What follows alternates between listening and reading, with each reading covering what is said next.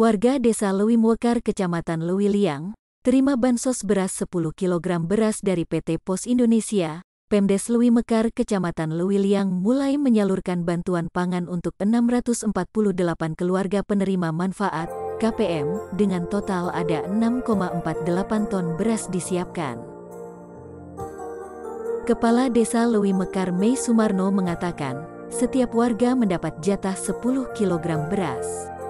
Penyaluran dilakukan oleh PT Pos Indonesia. Bantuan yang diberikan saat ini, kata Mei Sumarno, pihaknya telah berkoordinasi dengan kecamatan dan untuk penyaluran bantuan tersebut. Bantuan diberikan kepada warga yang namanya tertera dalam surat panggilan. Penerima bantuan tinggal datang ke lokasi penyaluran dengan membawa KTP atau KK asli dan surat panggilan yang diberikan, tegasnya.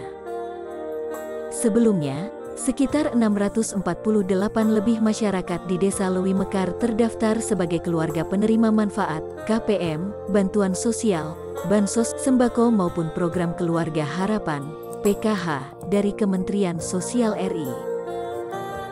Hadir dalam acara ini Oding Rukmana Sekretaris Desa, Babinsa Desa Lewi Mekar, Babin Kamtipmas Desa Lewi Mekar, pendamping lokal desa, para ketua RT, para ketua RW dan 648 keluarga penerima manfaat.